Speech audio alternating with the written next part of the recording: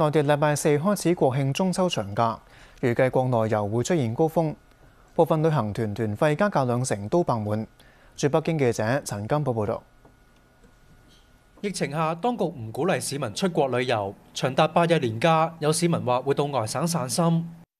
以前每年都出去，然後今年這麼長時間沒出去，然後現在慢慢好了，就，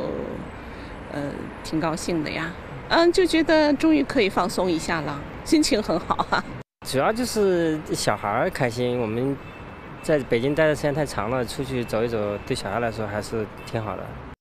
内地七月中恢复跨省旅游，有旅行社话，疫情下国内旅游需求旺盛，十一团费比往年加价两成，仍然爆满，报团量比暑假多三倍。当中又以云南、海南、西藏等地最受欢迎。大量的客人其实这个，呃，在这样的一个长假的一个过程当中，往年都是选择一些出境，啊，但是呢，他如果能花个一万五六的这种价格，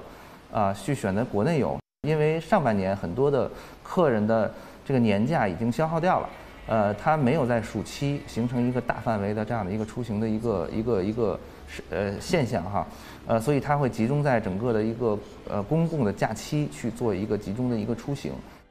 旅行社話，雖然境外遊仍然未恢復，但相信部分原本計劃到外國旅遊嘅人會留喺國內旅遊。預計今年國內遊人數會比舊年增長大約一半。中國疾控中心早前發重點提示，呼籲民眾如非必要避免出國，可以正常安排國內旅行，但要服從目的地嘅防疫工作，期間盡量保持社交距離，喺密閉同人群密集嘅地方要佩戴口罩。無線電視駐北京記者陳金報報道。